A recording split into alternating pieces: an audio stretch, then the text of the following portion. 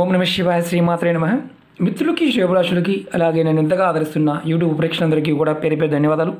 మిత్రులరా మీ అందరికీ కూడా అపరాదేవత ఎల్లవెల్లలా మీతో ఉండి మీ మనోవాంఛ నెరవేర్చాలని మనస్ఫూర్తిగా కోరుకుంటున్నాను. చాలామంది మిత్రులు మెయిల్స్లోను కామెంట్స్లోను గురువుగారు చేతిలో చిల్లి గవ్వ కూడా నిలబడడం లేదు. ఆర్థికంగా అనవసరమైన ఖర్చులు ఎక్కువగా పెట్టవలసి వస్తుంది. ఇచ్చిన డబ్బులు తిరిగి రావడం లేదు. మాకు స్నేహితులకి మిత్రులకి కుటుంబ సభ్యులకి చేబదులుగా ఇచ్చిన డబ్బులు కూడా రావడం లేదు. ఇస్తాములే ఏంటి అంటున్నారు. మమ్మల్ని కాపాడండి. మాకు ఏదైనా తేలికైన ఉపాయం చెప్పండి అని చాలామంది మెయిల్స్లో కామెంట్స్ అడగడం జరిగింది. మనం కొంతమంది మిత్రులు అనవసరమైన అంటే ధనం ఉన్నా లేకపోయినా గొప్పలకు పోయి కొంతమంది చెప్తూ ఉంటారు.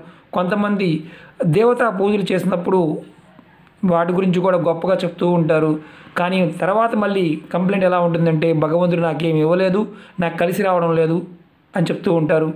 మనకి పెద్ద పెద్దవారు ఎవరైనా సరే అంటే బాగా ఉన్నతంగా ఉన్నవారు ఎప్పుడైనా సరే పూజలు దాన ధర్మాలు చేసినప్పుడు కొంతమంది అంటే కొంతమంది ఏమో ఓపెన్గా చూపిస్తూ ఉంటారు కొంతమంది అసలు చూపించరు. అంటే మేము చేసామని కూడా చెప్పరు.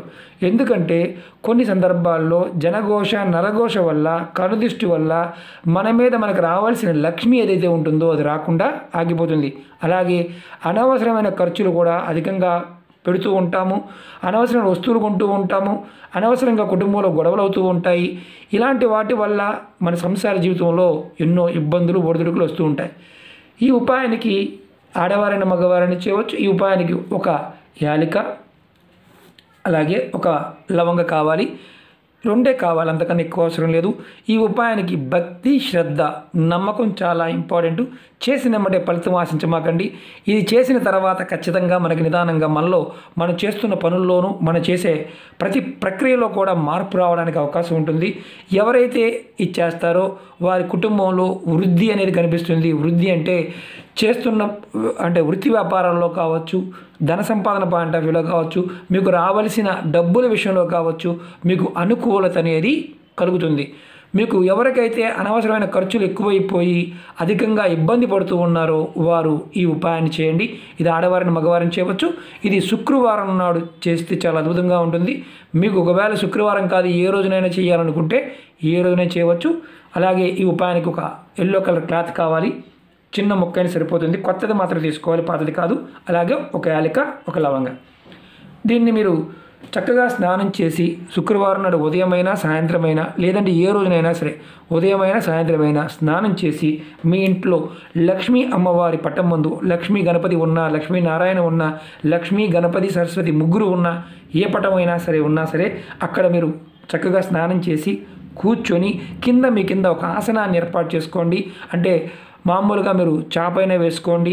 ఏమీ మన దగ్గర లేదండి ఆసనం లేదనుకుంటే ఒక క్లాత్నైనా వేసుకోండి. లేదా దర్భచాప లేదంటే మీరు ఏదైనా ఇంకా మీ దగ్గర అందుబాటులో ఉంటే కృష్ణ కృష్ణజింక చర్మం కానీ ఇలాంటివి ఉంటాయి. కృష్ణజనం అంటారు. అలాంటివి ఏదైనా ఉన్నా సరే వేసుకో వేసుకొని కూర్చోవచ్చు. లేదంటే ఏమీ లేదనుకున్నప్పుడు ఒక క్లాత్నైనా చక్కగా ఉతికిన క్లాత్నైనా కింద వేసుకొని కూర్చొని మీరు మీ ఇంట్లో లక్ష్మీ అమ్మవారి పట్టం ముందు చక్కగా ఆవు నేతితో రెండు ఒత్తులు వేసి దీపం వెలిగించండి. అది కూడా మట్టి ప్రమిదైనా పర్వాలేదు ఇత్తడిదైనా పర్వాలేదు వెండిదైనా బంగారందైనా ఏదైనా కుందులో అయినా సరే రెండు గుందులు రెండు రెండు రెండు ఒత్తులు వేసి ఆవునెత్తో దీపారాధన చేసి మీరు ఈ రెండింటిని లవంగని యాలకని ఇలా మీరు కుడి చేతిలో పట్టుకొని ఇలా కుడి చేతిలో పెట్టుకొని ఎడం చేతిని ఇలా మూసి ఇలా పట్టుకోవాలి. బంధనం చేసి మూసి పట్టుకోవాలి. పట్టుకొని మీరు ఓం మహాలక్ష్మి నమః అనే మంత్రాన్ని నూట ఎనిమిది సార్లు ఖచ్చితంగా అనుకోవాలి.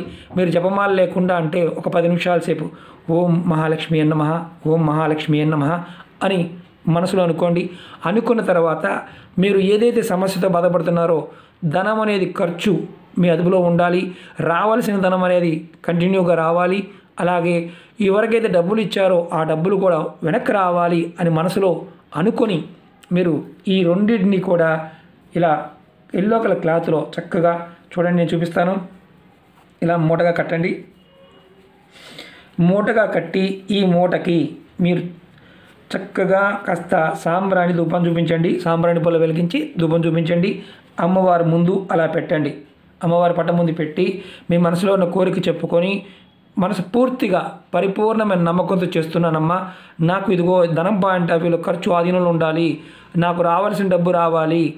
నాకు ధనానికి ఎప్పుడు లోటు లేకుండా ఉండాలి అలాగే నేను ఇచ్చిన డబ్బులు వెనక్కి రావాలి అని మనసులో అనుకొని అమ్మవారికి నమస్కారం చేసుకోవాలి. మంత్రాన్ని మాత్రం ఖచ్చితంగా జపం చేయాలి. కొత్త క్లాత్ మాత్రమే వాడాలి. పాత వాడకూడదు.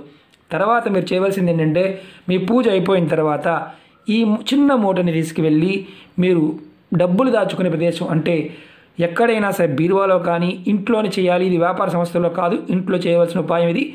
చక్కగా మీరు బీరువాల్లో కానీ ఎక్కడైతే డబ్బులు దాస్తారు అక్కడ కొంతమంది అంటారు గురువుగారు మేము డబ్బులు ఇంట్లో దాయము బ్యాంకులో దాచుకుంటాము. మీరు పదో పరక పెట్టుకునే ప్రదేశం ఇంట్లో ఎక్కడైనా డబ్బాలో పెట్టుకుని దాంట్లో అయినా సరే పెట్టుకోండి. అంతేగాని దీన్ని బ్యాగ్లో కానీ హ్యాండ్ బ్యాగ్లో కానీ పర్సులో కానీ పొరపాటున పెట్టవద్దు. పెడితే ఎటువంటి ఫలితము రాదు. ఎందుకంటే ఈ ఉపాయాన్ని మీరు ఒక్కసారి చేశారు ఒక శుక్రవారం చేశారు ఒక నెల రోజుల వరకు దీన్ని ఇలాగే ఎక్కడైతే డబ్బులు పెట్టారో అక్కడే ఉంచండి. మెల్లమెల్లగా మెల్లమెల్లగా మార్పు కనిపిస్తుంది. ఇది మార్చవలసి వచ్చినప్పుడు ఈ మూటని యాసిటీస్గా తీసుకువెళ్ళి ఎక్కడైనా సరే పారే నీళ్ళల్లో వదిలేయాలి. పారే నీళ్ళల్లో మాత్రమే వదలాలి. మీరు ఒకవేళ నెలకి అవ్వలేదు ఒక రెండు నెలలు మూడు నెలలు పట్టింది ఎప్పుడైనా ఎక్కడికైనా వెళ్ళినప్పుడు నెల దాటిన తర్వాత ఈ ఏదైతే చేశారో ఈ ఉపాయంలో ఈ మూటను తీసుకొని మీరు ఏదైనా ఊరు వెళ్తున్నా ఎక్కడికైనా వెళ్తున్నా మధ్యలో ఎక్కడైనా కాలువ కానీ నది కానీ ఉన్నప్పుడు దాంట్లో వదిలేయండి.